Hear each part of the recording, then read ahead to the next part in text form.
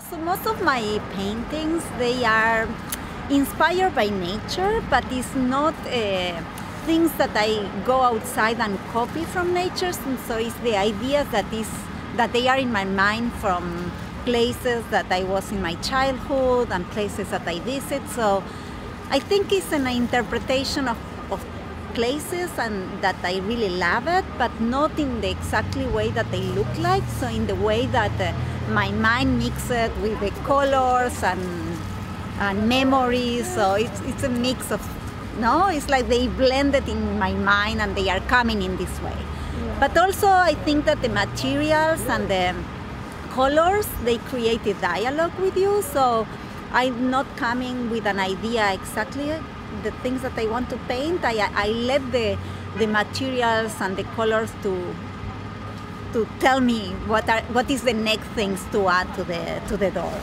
And I like to work with the recyclable materials, so I in, in my paintings and in, in the door I was using things that yeah that I had at home.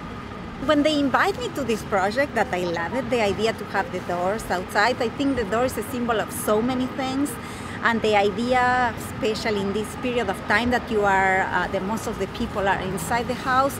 So I think what I can paint that they can be related with the pleasure that you feel when you are out and, and how the, uh, when you go for a walk and you are go for a bike, how these moments renew us and as the, the singer said, Denver said that na nature fill up your senses. So this idea of how you get renewed when you are going out. So I think I started with this idea. What are the things that make me feel joy when I am going out? And, and I was trying to represent. I never want to uh, place a name or just name it in some way because I like the viewers to have their own interpretation. So, but this was mine. What bring me joy when I am going out and how I can, you know, paint this idea, these these feelings in the in the door.